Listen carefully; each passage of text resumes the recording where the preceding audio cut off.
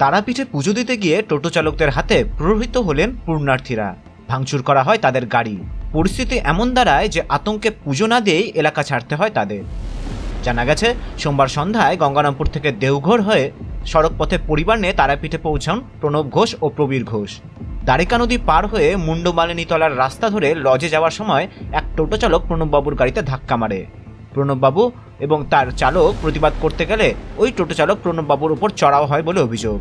এমনকি সঙ্গী সাথী জুটিয়ে ওই অভিযুক্ত টোটো চালক প্রণবেশবাবুর গাড়ির কাজ ভেঙে দেয় বলে জানা গিয়েছে। গাড়ি লক্ষ্য করে ইট পাথর ছোড়া হয়। মারধর করা হয় প্রণববাবুর বৃদ্ধ শ্বশুর শাশুড়িকেও। বিষয়টি তারাপীঠ থানায় জানিয়েছেন প্রণবেশবাবু। তিনি জানান, টোটো চালকেরা প্রত্যেকে মদ্যপ অবস্থায় ছিলেন। নিরাপত্তার অভাব বোধ করায় তারা তারাপীঠ থেকে ফিরে আসেন। তদন্তে নেমে পুলিশ তিন টোটো চালককে আটক করে জিজ্ঞাসাবাদ শুরু করেছে বলে জানা গিয়েছে। দেওঘরে ছিলাম, দেওঘর থেকে তারাপীঠে এসছি। হোটেল বলাকাতে আমরা মানে রুম বুক করেছিলাম। তো এখানে এসে জাস্ট আমরা গাড়িটা, গাড়ি আসছে আমাদের। পেছন থেকে একটা টোটো এলো, তো টোটোটা লাগিয়ে দিয়েছে। লাগিয়ে দেওয়ার পর ড্রাইভার ওকে জিজ্ঞাসা করল যে, ভাই, তুমি টোটো টোটোটাকে একটু পেছনে দিয়ে দাও, তাহলে আমি গাড়িটাকে সাইড করে নিয়ে যেতে পারব। তো যথারীতি টোটোর মধ্যে এই ছেলেগুলো একদম পুরো ইনটক্সিকেট অবস্থায় ছিল।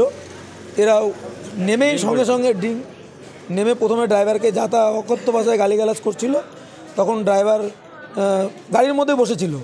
ও যা তা বলছে বলছে, আমরা বলছি, ঠিক আছে, ছেড়ে দাও ছেড়ে দাও। এই সেই বলতে বলতে গাড়ি আগাচ্ছে, যেহেতু রাস্তাটা জাম হয়ে যায়। সামনে আগানোর পরে সামনে থেকে কিছু ছেলে টেলে এলো, তাদের ভিডিও ফুটেজটা আপনাকে দিয়ে দিয়েছি। ওরা এসে সোজা গাড়িতে হিট করল। গাড়ির মধ্যে আমার শ্বশুরমশাই ওনার মোটামুটি এইটটি টু ইয়ার্স এজ। আমার শাশুড়ি ওনার সেভেন্টির কাছাকাছি।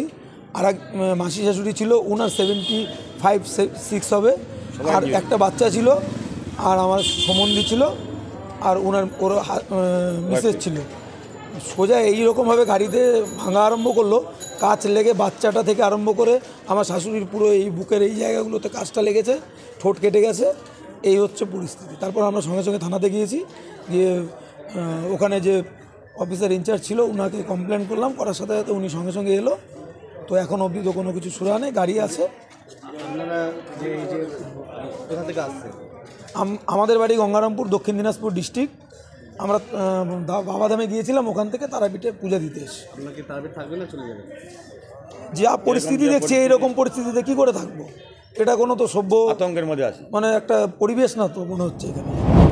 প্রথমে আমরা হোটেলে উম, বলাকাতে উঠবো বলে এসেছি। এবার পেছন দিক থেকে এক টোটো এসে আমাদের গাড়িতে হিট ধাক্কা দিল। আমাদের ড্রাইভার বলল যে ভাই এখানে লাগালি কেন? আর ওর চাঙাটা পুরো মদ খাওয়া ছিল। ও আসে গাড়ির কাজ হ্যাঁ তিনজন ছিল। হ্যাঁ গাড়ির সামনের কাজ ভেঙে দিয়েছে জানালার কাজ ভেঙে দিয়েছে। আমার শাশুড়ি মাকে হিট করেছে। হ্যাঁ হ্যাঁ পুলিশকে জানিয়েছি থানায় গিয়েছিলাম। এখন ওই ওদেরকে ধরো শাস্তি দেখ। রামপুরহাট থেকে আশিস মণ্ডলের রিপোর্ট উত্তরবঙ্গ সংবাদ।